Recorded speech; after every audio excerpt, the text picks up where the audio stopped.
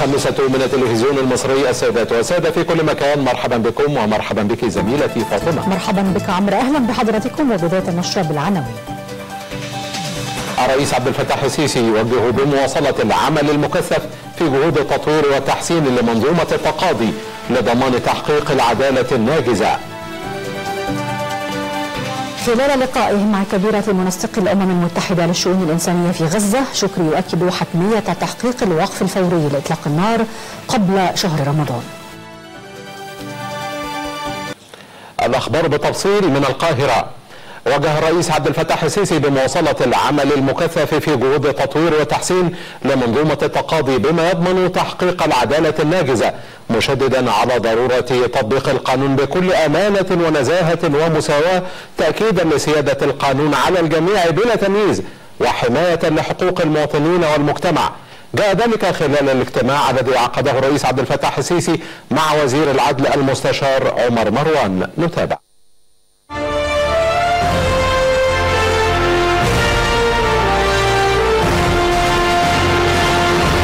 عقد السيد الرئيس عبد الفتاح السيسي اجتماعا مع المستشار عمر مروان وزير العدل وصرح المتحدث الرسمي باسم رئاسة الجمهورية المستشار الدكتور أحمد فهمي أن السيد الرئيس اطلع خلال الاجتماع على إجراءات تفعيل قانون التحالف الوطني للعمل الأهلي والجهود الجارية لاستحداث آليات للتنسيق في إطار القانون. بهدف تعميق مفهوم التطوع في العمل الأهلي وتنمية القيم الإنسانية والمجتمعية وحشد الجهود الوطنية من أجل التنمية الاجتماعية والاقتصادية ودعم تنفيذ المبادرات الاجتماعية التنموية وذلك من خلال التنسيق بين أجهزة الدولة والمجتمع المدني المعنية.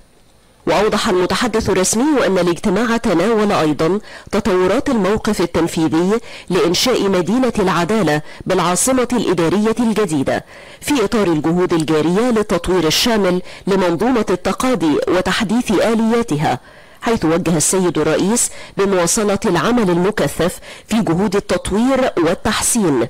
بما يضمن تحقيق العدالة الناجزة مشددا على تطبيق القانون بكل أمانة ونزاهة ومساواة تأكيدا لسيادة القانون على الجميع بلا تمييز وحماية لحقوق المواطنين والمجتمع.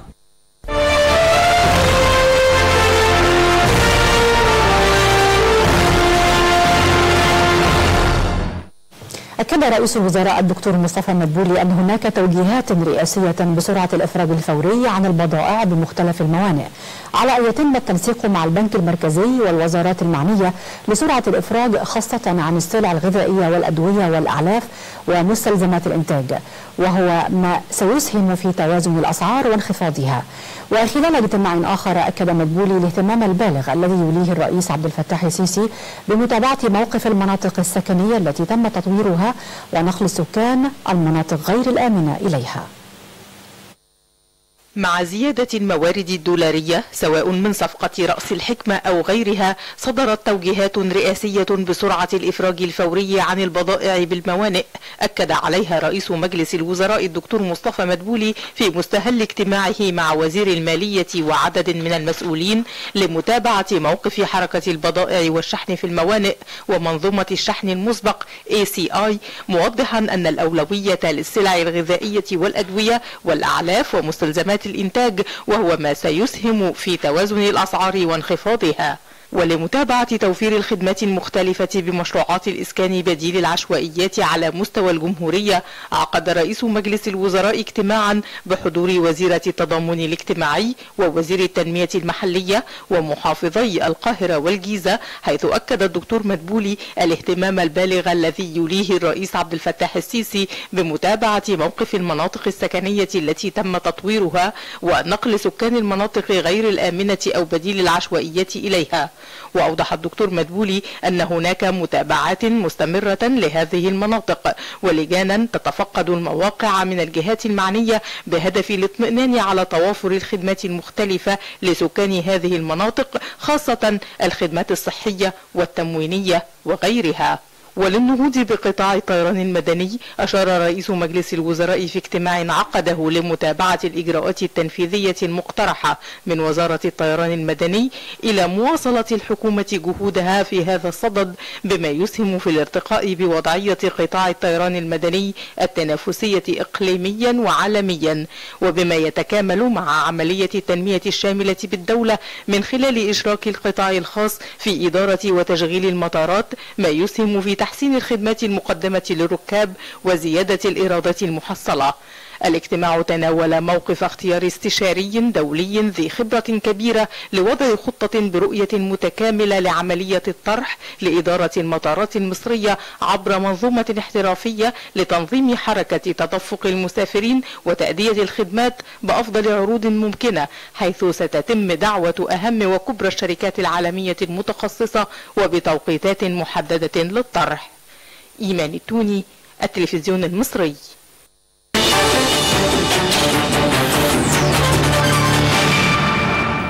أكد وزير الخارجية سامح شكري حتمية تحقيق الوقف الفوري لإطلاق النار في قطاع غزة وإنفاذ التهدئة قبل شهر رمضان حتى يتسنى زيادة تدفق المساعدات الإنسانية ومواد الإغاثة بالكميات الكافية لاحتياجات سكان القطاع.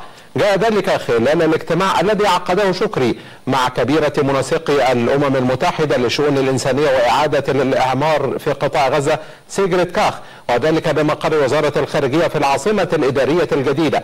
ولفت شكري إلى المخاطر الإنسانية الناجمة عن المحاولات الممنهجة لاستهداف عمل وكالة الأمم المتحدة لغوث وتشغيل اللاجئين الفلسطينيين وقيام بعض المانحين بتعليق التمويل للوكالة في خضم هذه الأزمة الإنسانية.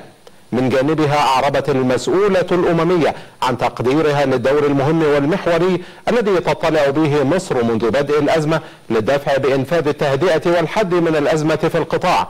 فضلا عن تقديم وتسهيل دخول المساعدات الإنسانية إلى قطاع غزة بما في ذلك التعاون القائم بين الهلال الأحمر المصري ووكالات الإغاثة الدولية. واصلت قوات الاحتلال الإسرائيلي عدوانها على قطاع غزة لليوم الخمسين بعد المئة على التوالي. وأعلنت وزارة الصحة في غزة ارتفاع عدد ضحايا العدوان إلى 30534 شهيدا ونحو 71920 مصابا منذ السابع من أكتوبر الماضي. وأكدت الصحة الفلسطينية استشهاد 124 شخصا وإصابة 210 آخرين إثر 13 مجزرة في القطاع ارتكبتها قوات الاحتلال خلال الساعات الأربع والعشرين الماضية. هذا وقد استشهد 12 فلسطينيا على الأقل وأصيب أكثر من 40 غالبيتهم من الأطفال والنساء. جراء قصف قوات الاحتلال منزلا يؤوي نازحين في مخيم النصيرات وسط القطاع. أفادت مصادر إعلامية بحدوث تقدم ملحوظ خلال المحادثات الرامية للتوصل إلى هدنة في قطاع غزة حيث تبذل مصر جهودا حثيثة للتوصل إلى اتفاق قبل شهر رمضان. هذا وتتواصل المفاوضات غير المباشرة بين حماس وإسرائيل في محاولة للتوصل إلى هدنة. وينص الاقتراح الذي تقدمت به الدول الوسيطة مصر وقطر والولايات المتحدة على وقف العدوان لمدة ستة أسابيع وإطلاق سراح 42 محتجزا إسرائيليا في غزة مقابل إطلاق سراح أسرى فلسطينيين في السجون الإسرائيلية. ويأمل الوسطاء أن يتم الاتفاق قبل حلول شهر رمضان. كان مسؤول أمريكي قد أكد في وقت سابق أن إسرائيل وافقت مبدئيا على بنود المقترح في حين لم تؤكد سلطات الاحتلال تصريحات المسؤول الأمريكي. طالب رئيس حكومة تسيير الأعمال الفلسطينية محمد شتية بدخول الصحفيين إلى قطاع غزة لتغطية الأحداث وكذلك سماح للمنظمات الدولية والإنسانية بالعمل في القطاع. وخلال الاجتماع الأسبوعي للحكومة أكد شتية ضرورة أن تسمح إسرائيل بإدخال المساعدات الإنسانية إلى قطاع غزة ووقف جرائم الإبادة الجماعية بحق الفلسطينيين.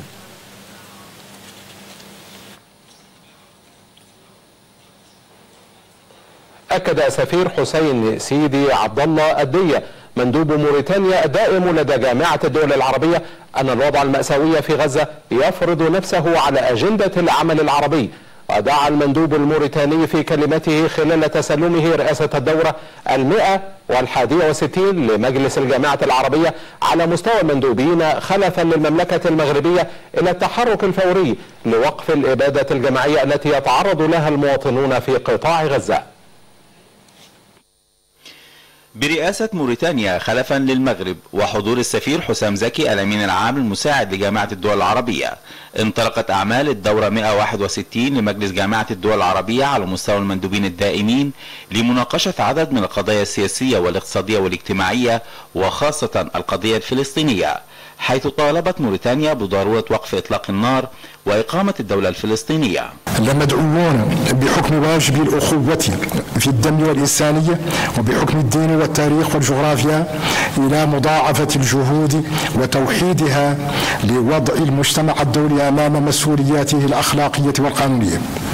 من أجل توفير الحماية للشعب الفلسطيني وإعادة المهجرين إلى بيوتهم وإلزام إسرائيل بالكف عن جرائمها تجاه الشعب الفلسطيني ووقف عدوانها الظالم على قطاع غزة وفك الحصار عنه وفتح المجال أمام حد سياسي مستديم يضمن للشعب الفلسطيني حق للفلسطيني كافة حقوقه المشروعة وفي مقدمتها إقامة الدولة الفلسطينية المستقلة على حدود الرابع من يونيو 1967 وعاصمتها القدس الشرقية. أكد المندوب الدائم الموريتاني لجامعة الدول العربية على خطورة استمرار الحرب في قطاع غزة على المنطقة بأكملها. إننا إذ نستشعر الخطر الذي ينذر بعواقب وخيمة على المنطقة بأسرها أمنيا واجتماعيا.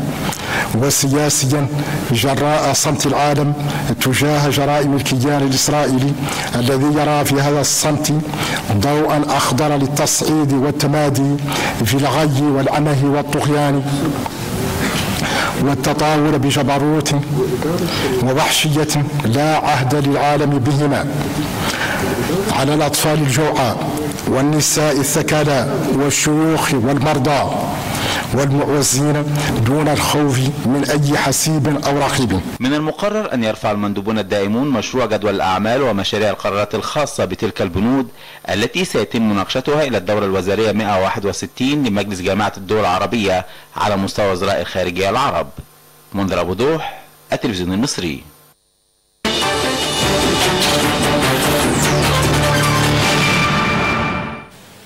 وافق مجلس الشيوخ في جلسته العامة اليوم برئاسة المستشار عبد الوهاب عبد الرازق نهائيا على مشروع القانون المقدم من الحكومة بإصدار قانون الضمان الاجتماعي الموحد. ويهدف مشروع القانون إلى تحسين شبكة الأمان الاجتماعي وتوسعة مظلة الضمان الاجتماعي وإحداث مرونة في ربط التدخلات الاجتماعية المتكاملة بالمتغيرات الاقتصادية بما يشمل نسب الشراء والفقر ونسب التضخم وذلك بهدف تحقيق أفضل حماية للأسر الأكثر فقرا والأقل دخلا وكفالة حقوق الفئات الأولى بالرعاية وتوفير أقصى حماية ممكنة لهم كذوي الإعاقة والمسنين والأيتام. استمرارا للجهود المصرية الداعمة للأشقاء الفلسطينيين وتنفيذا لتوجيهات الرئيس عبد الفتاح السيسي القائد الأعلى للقوات المسلحة.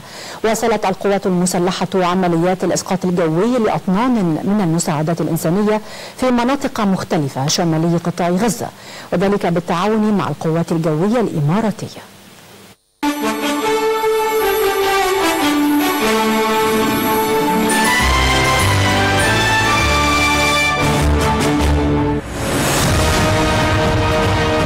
استمرارا للجسر الجوي لنقل المساعدات الإنسانية لأبناء الشعب الفلسطيني الشقيق بقطاع غزة وتنفيذا لتوجيهات السيد الرئيس عبد الفتاح السيسي رئيس الجمهورية القائد الأعلى للقوات المسلحة. نفذت القوات الجوية المصرية أعمال الإسقاط الجوي لأطنان من المساعدات الغذائية ومعونات الإغاثة العاجلة على عدد من المناطق شمال القطاع وذلك بالتعاون مع القوات الجوية الإماراتية للمساهمة في تخفيف الأزمة الإنسانية الحادة وتدهور الأحوال المعيشية للمواطنين بشمال قطاع غزة.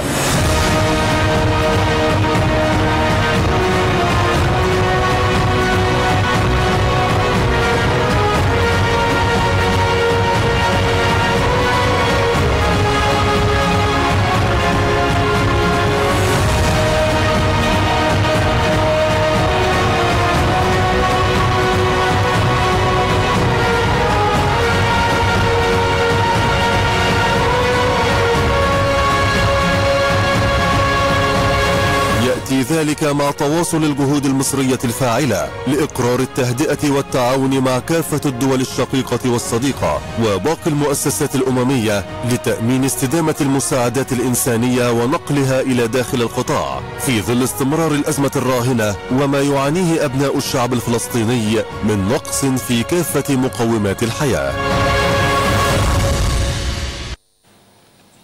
أكدت وزيرة البحث العلمي السابقة دكتورة نادية زخاري أن نسبة النساء والفتيات في مجال البحث العلمي والقيادة بلغت نحو 48% من الباحثين المصريين مشيرة إلى أن أي بحث علمي يتطلب العمل الجماعي والدعم الفني والمادي اللازم لضمان نجاحه. جاء ذلك خلال الاحتفال ببرنامج لوريال يونسكو من أجل المرأة في العالم في نسخته السادسة. نتابع.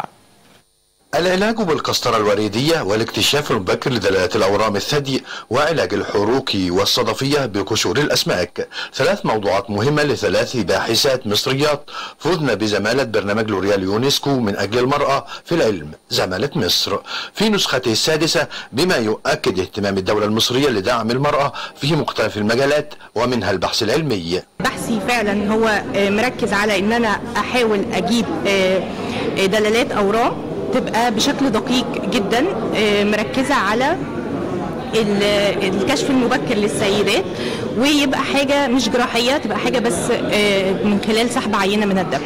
البرنامج ده بالذات هو بيساعد قوي على وجود شبكة من العلماء المتميزين جدا في مجالاتهم. هو بيدينا فعلا دعم مش بس مادي ولا دعم بس علمي في دعم فني كبير قوي قوي. بنسبة 88% من المرضى اللي بيدخلوا مستشفيات وبيتركب لهم قسطره وردية بيحصل لهم مشاكل نتيجة البكتيريا اللي بتنمو على سطح سطح القسطره وده بيسبب إن هي ما بتبقاش المضادات الحيوية ما بتبقاش فعالة على البكتيريا دي وبتسبب مشاكل كبيرة وممكن تسبب لوفيات كمان.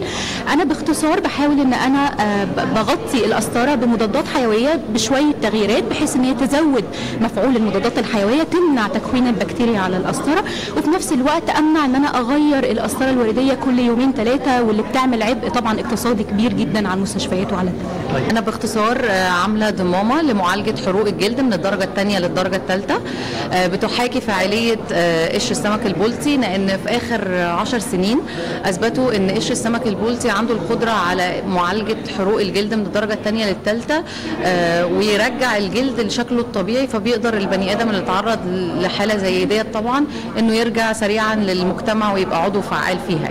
أنت بتاخد جائزة مادية بتساعدك إنك تحقق البحث بتاعك على أرض الواقع بتوصلك بباحثين داخل مصر وخارج مصر وده طبعا عامل مهم جدا. تلك الأبحاث العلمية الناجحة والتي روعي فيها أبحاث تخدم المجتمع المصري وتساهم في حل مشاكله بطريقة علمية مبتكرة ستلقى دعما فنيا ولوجستيا وماديا لضمان نجاحها وظهورها إلى النور بشكل واقعي.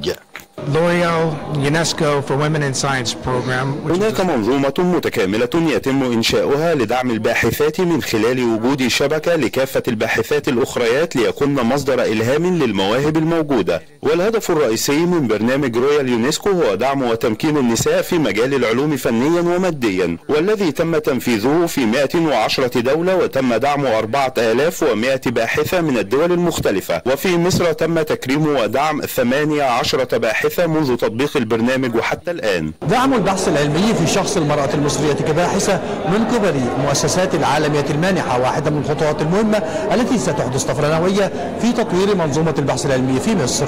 محمد حلمي التلفزيون المصري. بمناسبة مرور عام منذ بدء التشغيل التجريبي لمحطة تحيا مصر متعددة الأغراض بميناء الإسكندرية أصدرت وزارة النقل تقريرا أكدت فيه تمكن المحطة من جذب عدد كبير من الخطوط الملاحية العالمية واستقبالها ما يزيد عن 280 سفينة.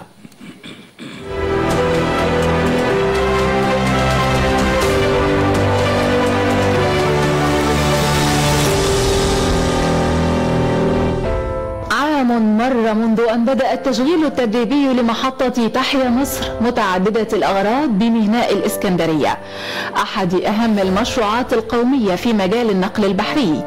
تطلب إنجاز المحطة عملا دؤوبا في مجالات عدة شملت تشييد البنية التحتية من ساحات وأرصفة ذات مواصفات عالمية شراء وتركيب أحدث معدات تداول البضائع مع تركيب منظومة قياسية لتكنولوجيا المعلومات إضافة إلى استقطاب وتجهيز أطقم التشغيل مع تنفيذ خطة تدريب على أعلى مستوى داخل البلاد وخارجها. عام مر شهد جهدا كبيرا من إدارتي التشغيل والتسويق لجذب أكبر عدد من الخطوط الملاحية العالمية. جهود نجحت من خلالها الشركة القائمة على المشروع في التعاقد مع ستة خطوط ملاحية عالمية مختلفة. وتم استقبال ما يزيد عن 280 سفينة منذ بدء التشغيل التجريبي للمحطة وحتى الآن. عمليات الشحن والتفريغ والاستغلال الأمثل للأرصفة ارتفعت معدلاتها. مما مكن المحطة من استغلال إمكانياتها الفنية واستقبال سفن ذات أحجام كبيرة لأول مرة بميناء الإسكندرية. وبحمولات أكبر تتراوح ما بين 9 إلى 12 ألف حاوية زادت إلى 15 ألف حاوية. خلال العام الفائت وصل معدل التداول بالمحطة إلى 230 ألف حاوية. من المخطط أن يزداد معدلها لتصل المحطة إلى أقصى طاقة استيعاب لها. ونجحت المحطة في أن تحتل مركزا رئيسيا لتجارة الترانزيت في الشرق الأوسط.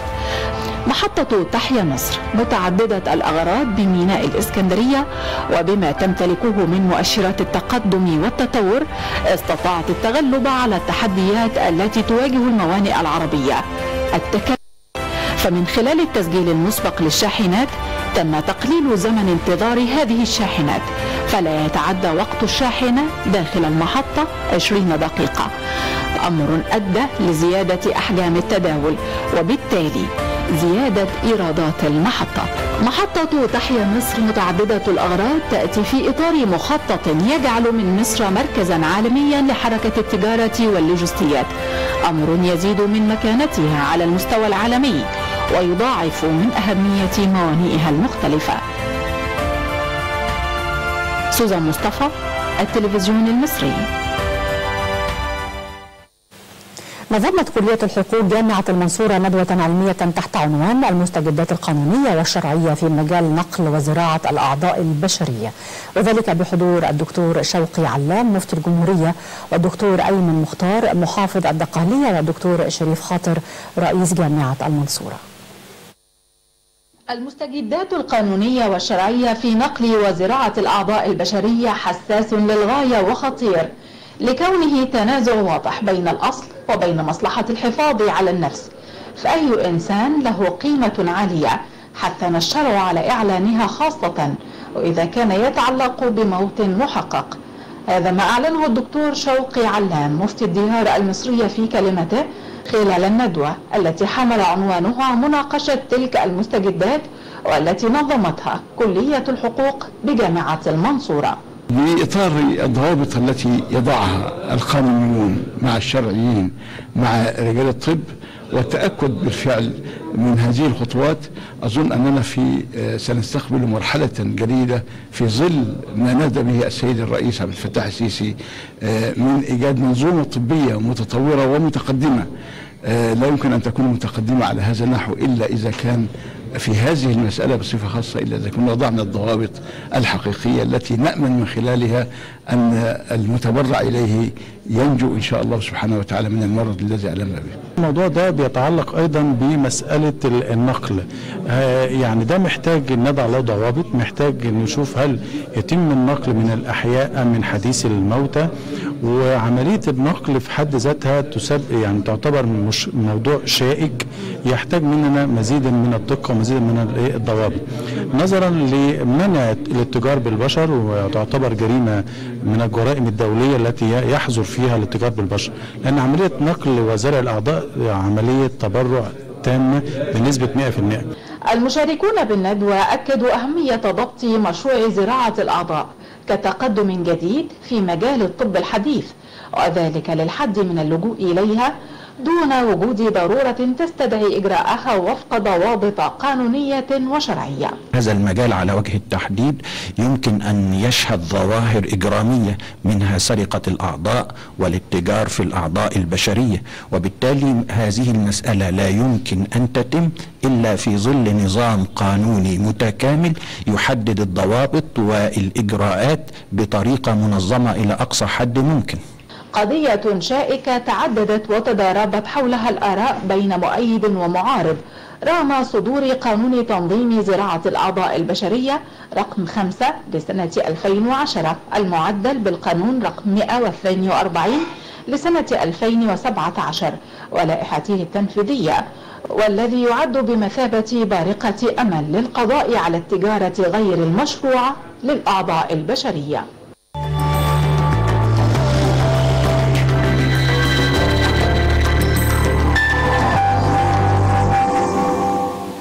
مشاهدينا أهلا بكم. النشرة الجوية يسود طقس مائل الحرارة على وجه البحر والقاهرة. وشمال الصعيد وجنوب سيناء دافئ شمالا. حار جنوبا نهارا بارد ليلا في الصباح الباكر. وشبوره صباحا على الشمالية الغربية على فترات متقطعة. البحر المتوسط معتدل والبحر الأحمر معتدل أيضا. وعن التوقعات الثلاثة أيام القادمه نبداها من القاهرة. الثلاثاء 15 26 الأربعاء 13 24 والخميس 13 22 أما عن شرم الشيخ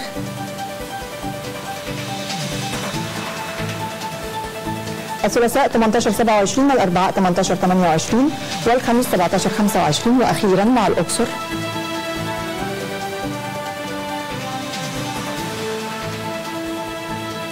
الثلاثاء 14 31 الاربعاء 15 31 والخميس 14 28 ونتعرف الآن مشاهدينا على بيان تفصيل درجات الحرارة المتوقعة بإذن الله. القاهرة 15 26 الإسكندرية 13 26 دمياط 13 24 بورسعيد 15 22 العريش 12 24 رفح 11 23 الإسماعيلية 12 27 السويس 13 26 مطروح 12 23 وادي نطرون 14 26 المنصورة 13 25 طنطا 14 25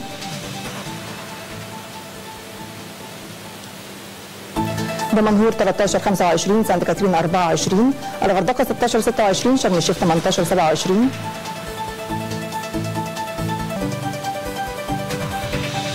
الفيوم 12 26 المنيا 11 27 أسيوط 11 26 سوهاج 13 28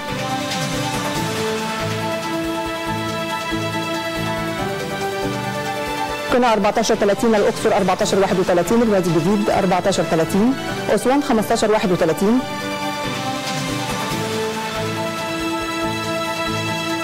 حلب 18 24 شلاتين 17 28 ابرمات 17 27 رأس حضربه 18 23 مساء هذا تذكير بأبرز العناوين. الرئيس عبد الفتاح السيسي يوجه بمواصلة العمل المكثف في جهود التطوير والتحسين لمنظومة التقاضي لضمان تحقيق العدالة الناجزة. خلال لقائه مع كبيرة منسق الأمم المتحدة للشؤون الإنسانية في غزة شكري يؤكد حتمية تحقيق الوقف الفوري لإطلاق النار قبل شهر رمضان. وزوروا موقعنا الإلكتروني إيجي شكرا طيب المتابعة. في أمان الله.